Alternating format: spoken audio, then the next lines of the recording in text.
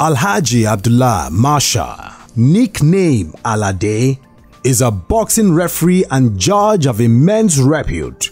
He stands tall among his peers in their capacity as umpires of the game. Born 10th August 1939 in Lagos Island, Masha's path to boxing began after he was brought under the tutelage of coach Ojo Bazo and coach Abubakar in his days as a schoolboy. Aside holding a diploma in public administration, his resume can be aptly attributed to that of a truly refined sports personality. One of the high points of his early boxing career was his display of grit at the 1956 Northern Boxing Championship, where he emerged the lightweight champion.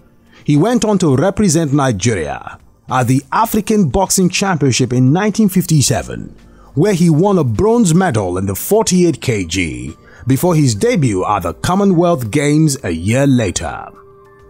As an umpire, Masha has also distinguished himself at major international tournaments like the All Africa Games, Commonwealth Games, and the Olympics. Join us as we honor Abdullah Masha with the Yucateco Boxing Emeritus Award. Congratulations.